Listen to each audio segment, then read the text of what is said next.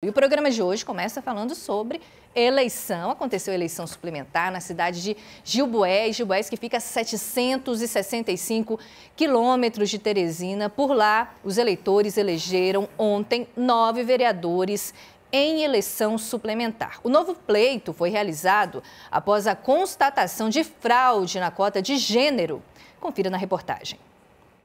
Há poucos meses das eleições 2024, Quase 6 mil eleitores voltaram às urnas ontem em Gilboés, no sul do estado, para mais uma votação ainda referente ao ano de 2020. Nove vereadores foram eleitos em eleições suplementares, após uma constatação de fraude na cota de gênero entre os vereadores nas últimas eleições.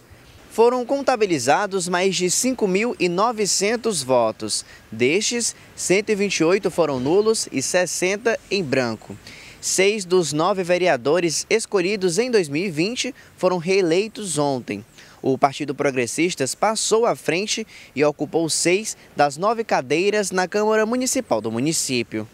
Os vereadores eleitos foram o Birajara Veleda, do PL, Jordan Irajá, do Progressistas, vereador Júnior, do Progressistas, vereador Júnior da Boa Vista, do Progressistas, Anderson Ribeiro, do Progressistas, Dimas Rosa, do Progressistas, Joia da Marmelada, do MDB, Henrique Guerra, do Progressistas e Railvan, do MDB. O Birajara Veleda, Jordan Irajá e Railvan foram os três novos vereadores eleitos. Em setembro do ano passado, o TSE anulou todos os votos recebidos pelos candidatos do Progressistas e cassou cinco parlamentares eleitos devido a uma fraude na cota de gêneros. Diante disso, no mês de dezembro, o Tribunal Superior Eleitoral decidiu que seriam realizadas novas eleições no município. A Justiça Eleitoral entendeu que naquele município, quando da eleição municipal de 2020, houve uma fraude eleitoral ou seja, mulheres que seriam supostamente candidatas laranjas acabaram participando do pleito eleitoral e acabaram incorrendo em ilegalidades junto ao Tribunal Regional Eleitoral do Estado do Piauí. Isso foi verificado, foi julgado e foi determinado uma nova eleição suplementar. Essa cota de gênero ela precisa ser respeitada. É um avanço na justiça eleitoral, é um fomento à participação das candidaturas femininas e toda candidata feminina, ela de fato precisa participar. Ela precisa ter material de campanha, precisa ter prestação de contas, precisa ter marketing, precisa ter contador, precisa ter advogado. Principalmente esses dois últimos, advogado e contador, que é a imposição legal. E não foi isso que aconteceu, por isso a chapa toda do Progressistas lá da cidade de Gilboés foi caçada, como compunha mais de 50% ali da Câmara, foi necessário fazer a eleição para todo, toda a Câmara Municipal. Por isso, nove vereadores eleitos. No entanto, Beatriz Ribas, a hegemonia do Progressistas permaneceu por lá. Porque eram cinco vereadores do Progressistas, agora são seis. Inclusive, eu vi é o senador Ciro Nogueira comemorando isso. Sim, né? afinal de contas, é o mesmo partido do prefeito também da cidade. Mas não bastasse isso, Sayuri, ele tem, ele não tem oposição na Câmara, porque todos os vereadores que foram eleitos, do progressistas ou não, fazem parte da base do prefeito. Então a governabilidade dele vai nas alturas, ele vai governar ali a cidade com muita facilidade, porque não há na prática mesmo oposição. Pelo menos em tese a gente não sabe como vai ser a atuação dessa Câmara. Agora eu queria aproveitar este assunto sobre as candidaturas laranjas, a gente sempre fala dele muito brevemente muita gente se questiona: ah, mas tem vagas, mulheres não participam porque não querem. Mas o problema é, assim, o buraco é mais embaixo, como dizem, né? Bem o problema, mais. Né? O problema não é só isso. Existem vários motivos que, é, na realidade, desmotivam a participação das mulheres.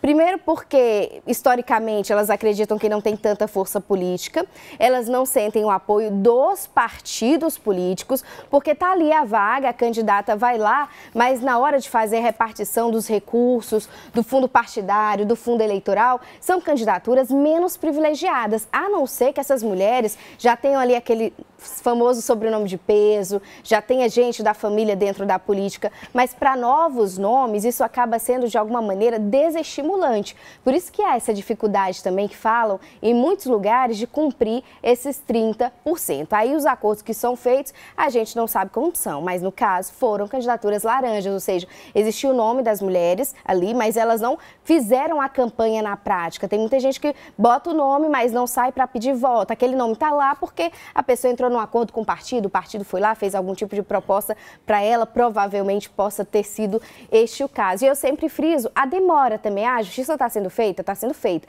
Mas a eleição, na realidade, foi em 2020. A gente está chegando às vésperas da outra eleição. Então, essas candidaturas que se elegeram, assim, essas chapas que foram formadas dessa maneira, Sayuri, elas ficaram quase os quatro anos de uma legislatura. Sim. Então, assim, go é, governar, exercer o mandato. Pois Já é, chegando no finalzinho, em outubro, a gente vai ter outra eleição. É, só para complementar né, essa informação sobre a questão das cotas, cotas para mulheres, né, tem ali a cota, mas não era investido um recurso que é para isso, investido nas candidaturas femininas também. A gente viu o advogado falando, e agora tem também essa obrigatoriedade né, de investir o percentual também dos recursos é. na candidatura das mulheres e também dos candidatos que se autodeclaram e, pretos ou pardos. E dá suporte, né, Saíro? Porque quem está entrando na política agora não é simplesmente você dar ali o recurso e pronto, se vira, monta, faz a sua campanha, porque não é fácil você organizar uma campanha. As mulheres precisam também ter campanhas profissionais, assim como os homens que também estão começando, não tem todo aquele recurso. Não adianta só o dinheiro ir se a pessoa não souber direcionar aquele dinheiro, não aplicar bem, não fazer uma campanha de fato profissional como os grandes políticos fazem, porque eles têm uma equipe numerosa, tem muitas pessoas envolvidas, e isso acaba fazendo uma diferença muito grande no resultado que sai nas urnas.